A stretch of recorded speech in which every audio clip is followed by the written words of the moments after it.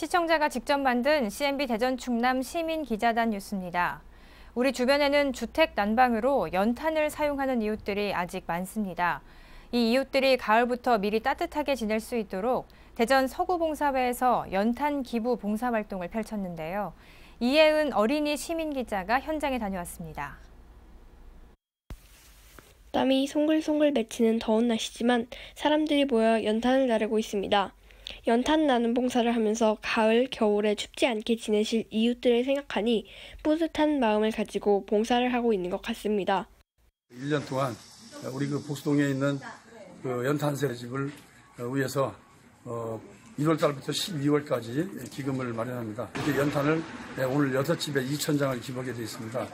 이 더운 날 우리 회원들하고 복수 학생들이 고생해 준 거는 우리 연탄 세대에서 어, 우리 11월 달에 연탄을 지급하는 것보다는 좀 더 말릴, 말릴 수 있는 기간을 달라고 해서 7월 달에 이렇게 연탄 기부를 하게 되어 있습니다.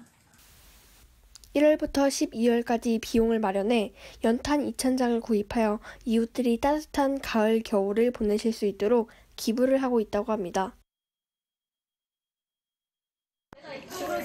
네, 연탄 무게는 무겁지만 그래도 제가 이렇게 나누는 거에서 사람들이 겨울에 편하고 따뜻하게 날 수 있잖아요.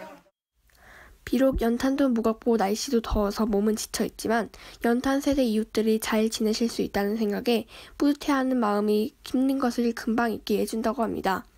우리도 따뜻한 마음을 가지며 지내면 무더운 여름도 이겨낼 수 있을 것입니다. 어린이 기자 이혜은입니다.